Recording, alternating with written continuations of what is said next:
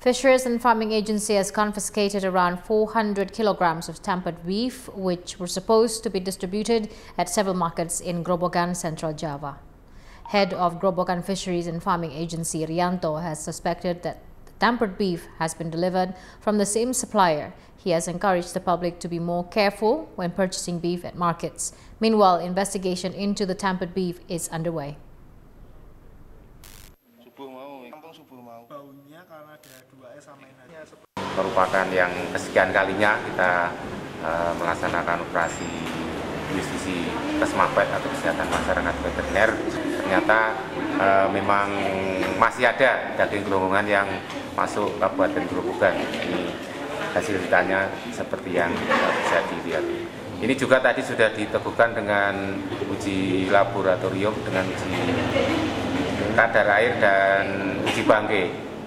Ternyata memang